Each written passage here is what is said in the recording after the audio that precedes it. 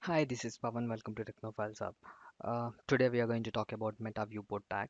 Um, in our previous video, we have discussed about the importance of Meta Charset tag. So I thought it's equally important for me to discuss about this Meta Viewport tag. So uh, before getting into Viewport, let me talk about its history. Uh, the term Viewport has been first introduced in uh, CSS 2.0 specification as popular contrary belief that Apple has introduced it. Uh, Apple has just borrowed the name Viewport and introduced the Meta Viewport tag. Uh, CSS 2.0 specification has actually introduced it, and along with it, there are many other keywords that it has introduced. The user agent uh, and uh, media groups, uh, etc. They all have been introduced in CSS 2.0 specification. So as it stands now, Viewport meta tag is not a standard, uh, but all mobile browsers on Android and uh, iPhone can recognize this tag and do the needful.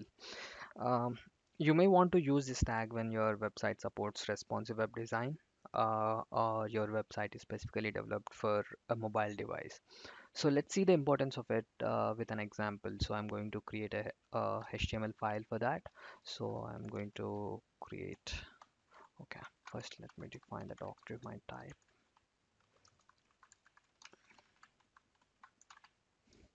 So let me save this first.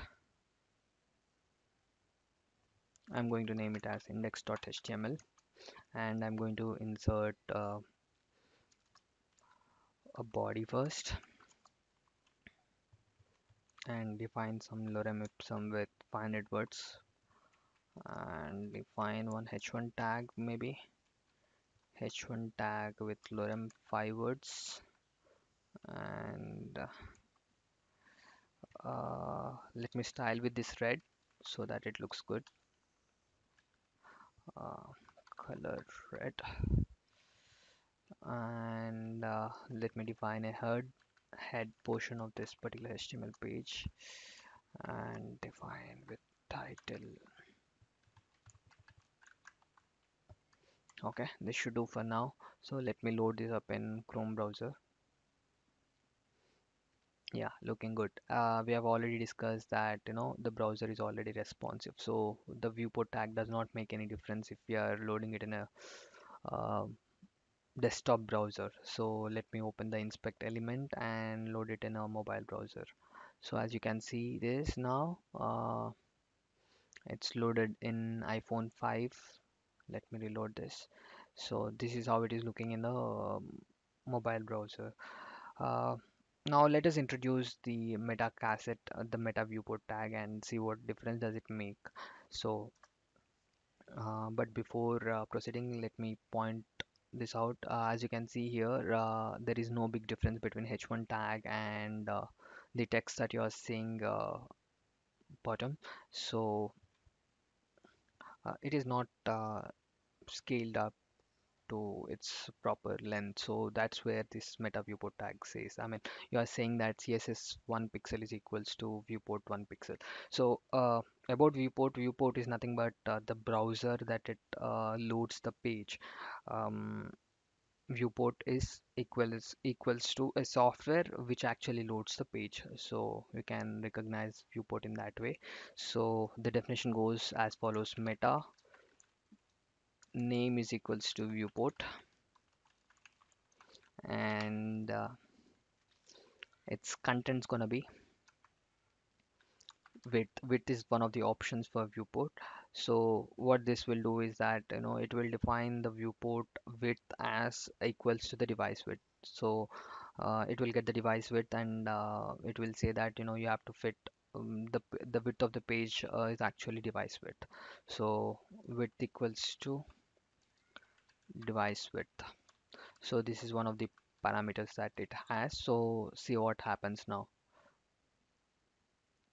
So this is how it is looking now and you know the h1 uh, scaled properly and it looks good now i mean uh, to the previously. So let me comment this out and show how it looks previously.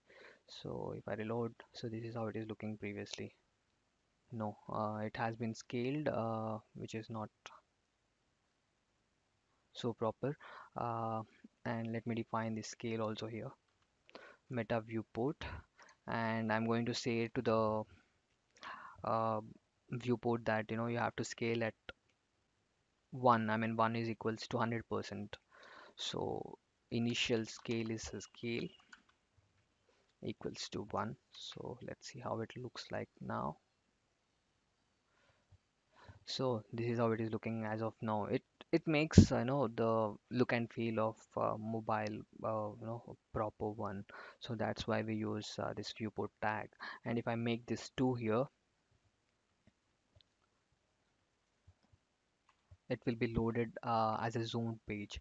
So okay I need to load this see as you can see the scale has been set to 2 and it loaded the page in a zoomed mode. I mean the scale of the uh, uh, page went high so that's why we use scale and uh, uh, we use with the device with uh, for uh, setting up the device with properly to fit to the page. So this is this is the reason why we use Meta Viewport tag. There are some other options that you can use with the viewport.